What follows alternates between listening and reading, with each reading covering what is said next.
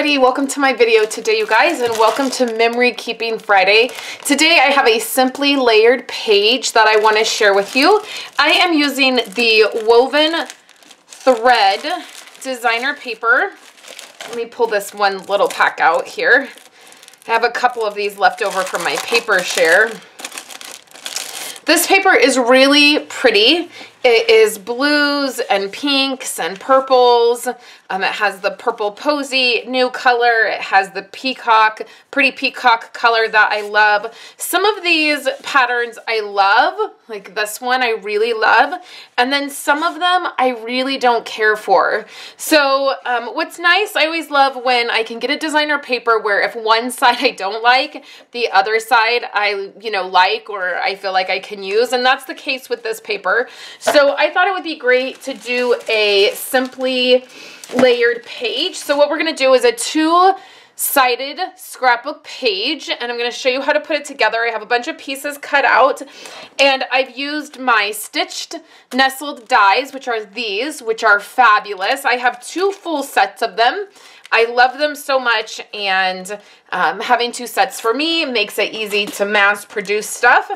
And then the other item I pulled out of my stash was my butterfly Thinlits and it has these three butterflies. It's retired, but you probably have it in your stash.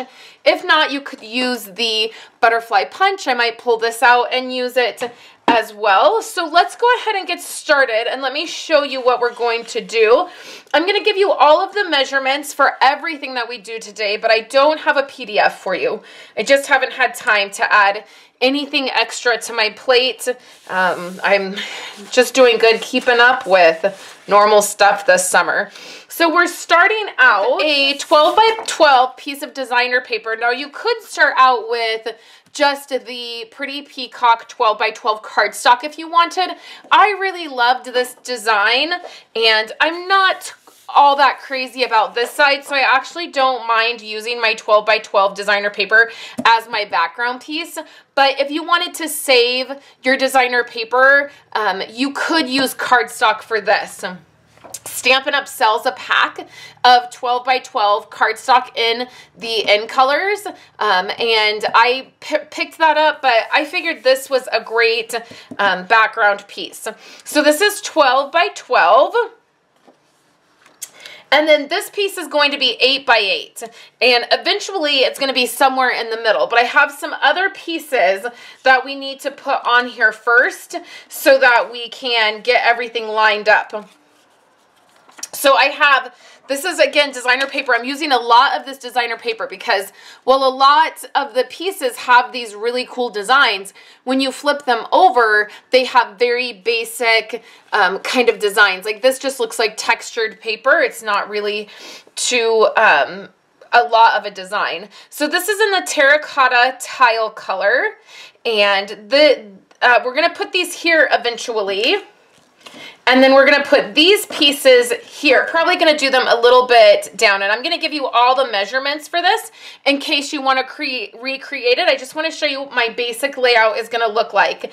Then I have some of this um, ribbon here, and I love this ribbon. This is the in color ribbon, and I have some in the Pretty Peacock, which is my favorite color of the in colors, but you can get this in all of our new in colors. So you can get it in the terracotta tile, the pretty um, purple posy, um, any of those colors, um, you're going to be able to use that. So we're going to have that here. And this is going to be the basic of what our layout is going to start with. And then what I've done is I have cut um, with my nested dies some of this design. I feel like this is a very 90s kind of vibe too.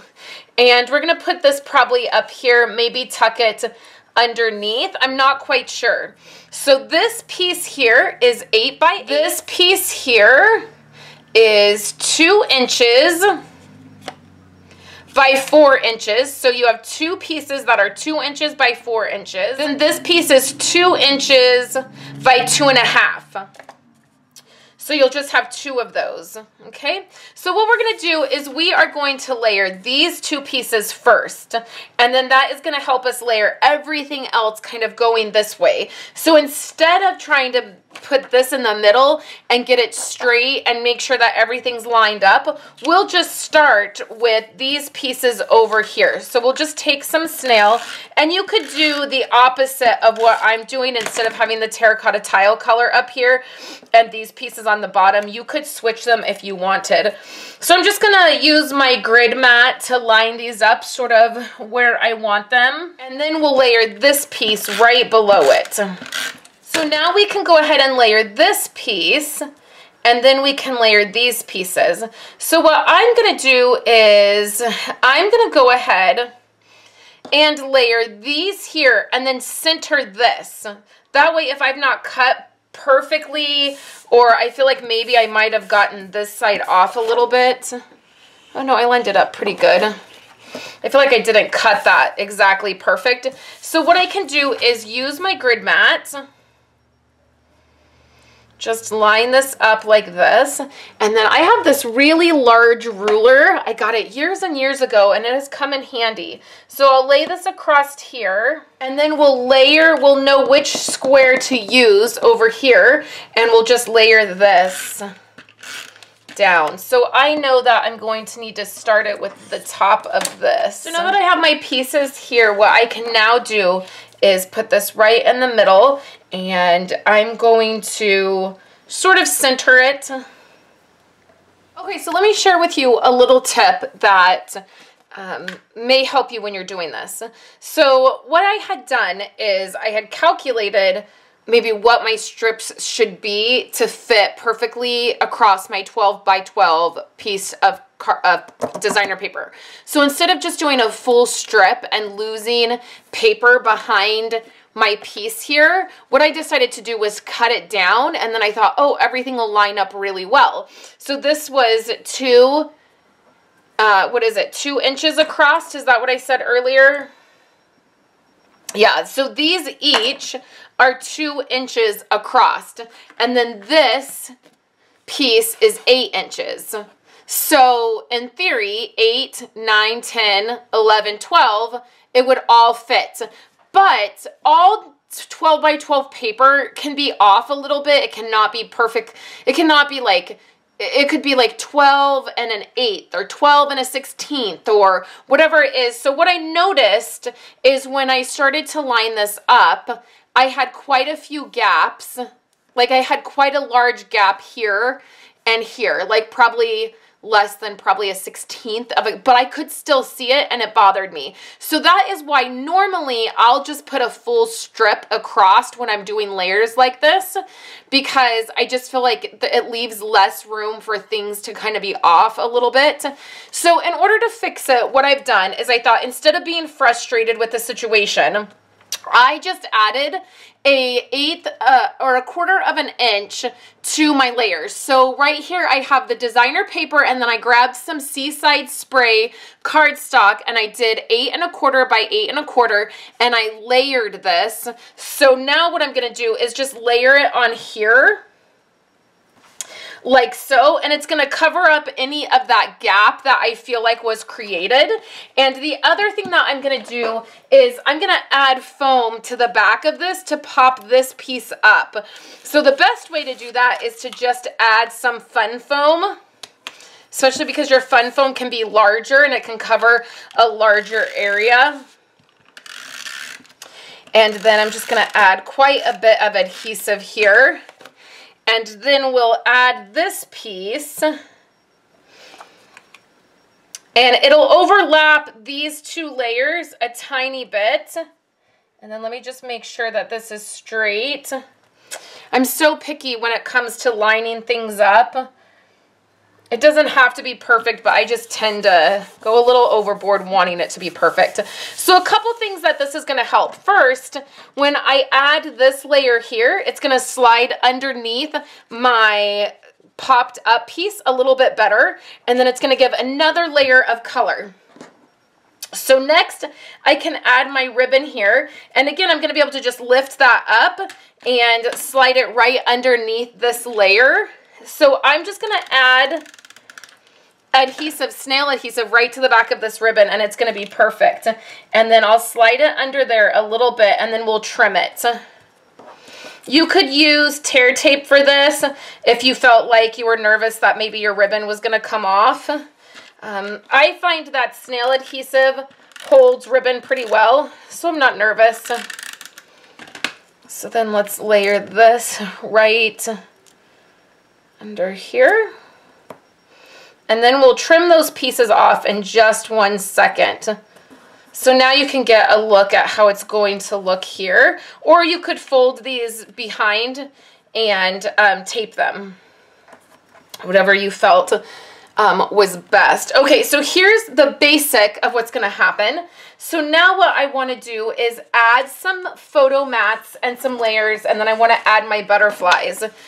So I already had decided to use this piece up here. I could use it right here, or I could tuck it underneath. I actually think maybe I want to layer it like this so that I can add, it just pulls this color up here. I'm going to put a butterfly here, and then I have some photo mats. So my photo mats are really simple. I have a 4 by 4 and then I have 3 by 4 and then I have 3 by 3 So you can see this is going to line up really nice, and you can either leave the blocks or you can add photos. So here I would add a photo that was three and three quarters by three and three quarters. Here I would do one that was slightly less than three by four, or you could remove the whole block and add a three by four photo. So you can do either, either way um, works well. So then you just center these in the middle. What I'll do here is this will be a journaling block and then I like to have color um, underneath my photos. So I will trim my photos and um, do them that way. So just start with one and then line these other ones up. This will be a journaling block and I can type out my journaling on, you know, probably I'll do it on my computer and do Whisper White cardstock and then trim it down.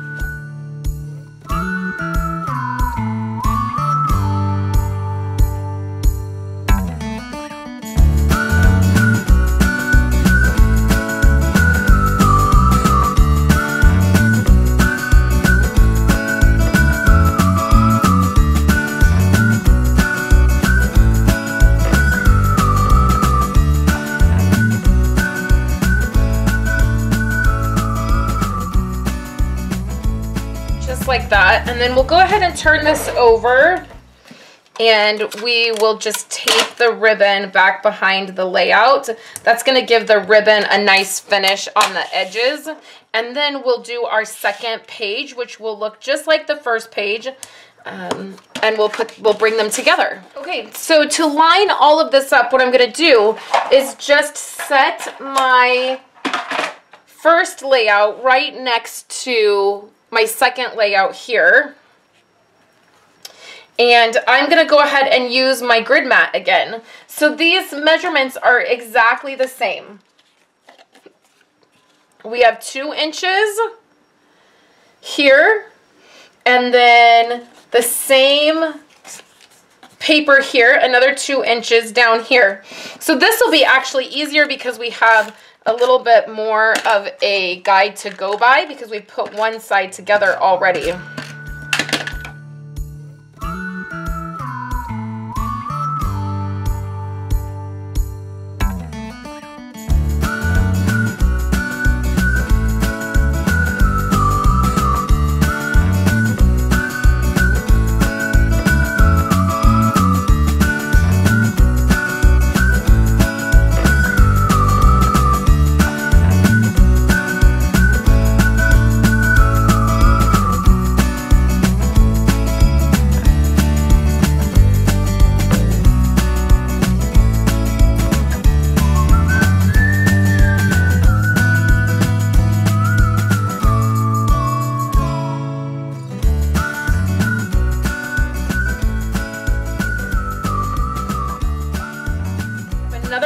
Butterfly that's to go here. And then I have my ribbon that will be exactly the same as on the other side. and then I have my, my mats, and I'm gonna do this a little bit opposite. So on this side, um, let's see if you can see both of these layouts kind of together. So on this side, my square is here, my larger square. So I'm going to put my larger square up in the corner and then my smaller one here. And then this one is going to go here and my last one is gonna go here. And this way, my eye, when I look at, or when anybody looks at this layout, it's gonna draw your eye into the middle instead of forcing it to the outside because everything's not exactly the same. It would look a little weird if this was just exactly the same. So always try to um, make your second side slightly different. You could also do it this way.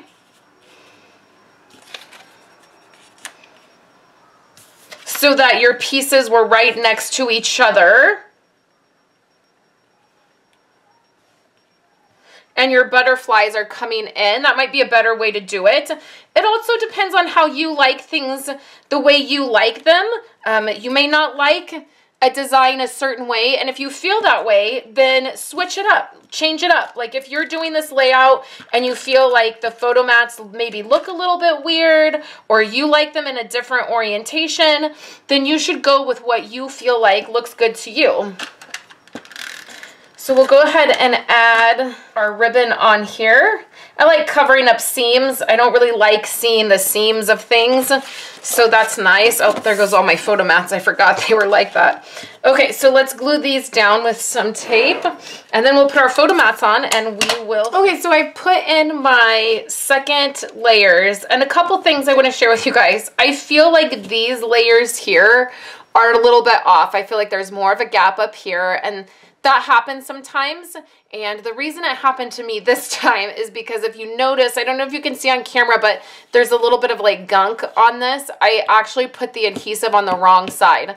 I put the adhesive on this side first and I thought, what am I going to do? And so I just flipped it over, put adhesive on this side and went ahead and put it down. And then I rubbed over a little bit just to take some of the stickiness off.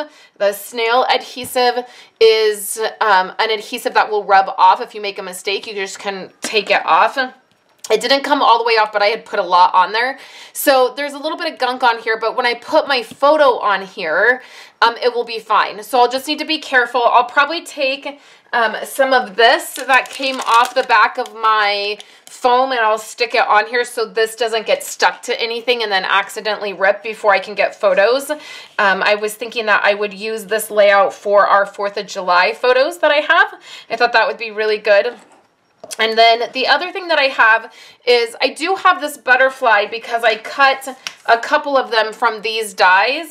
And I was thinking that I just didn't maybe want to use it. I had thought about maybe using it here. And maybe it would have been nice if I would have spaced this over and then used two of these butterflies, like one on each side. But I didn't do that. I put this closer to the edge thinking, you know, I would put something else there, maybe a stamped sentiment or something. If I use this for the 4th of July, I was thinking about putting 4th of July in there. Then I thought about using it here, but I felt like that was weird. Um, I thought maybe using it right next to this butterfly I don't know, I had wanted to use three, but now I'm feeling like it just kind of doesn't fit in, and so I'm thinking about not using it. So sometimes less is more. So I have great spaces for journaling. I have a great space for a title if I want to do a title, and then like I said, I think that I'll use this for our 4th of July photos that I took of us at our local small town parade. I think that would be great and I love the colors for that and it gives it a kind of a vintage look for 4th of July, but that's okay. So I hope that you guys enjoyed seeing this layout. I feel like it was kind of choppy, so I'm sorry if it felt a little bit disjointed and a little choppy. I'm sort of diving back into these simply layered pages again and I feel a little rusty putting them together and I felt a little off as my plan didn't work going, like I just had never done that before where I pieced it together and tried to use, you know, math with my scrapbooking. And I feel like I'm just probably more comfortable going ahead and putting the strips. And even if I lose a little paper behind my layers, I feel like it works better for me. But there's nothing wrong in trying different ways of doing different things when you're creating. So let me know what you think of this layout and if you'll be trying it out. If you have any questions, please let me know. And as always, I appreciate it when you watch my videos. Subscribe to my channel. And if you need any Stampin' Up! supplies, the supplies are listed in the YouTube description below, on my website, and on Facebook if you're watching this on Facebook. So I hope you have a wonderful day. I'll be back next week to share with you some more amazing projects. Have a great weekend, you guys.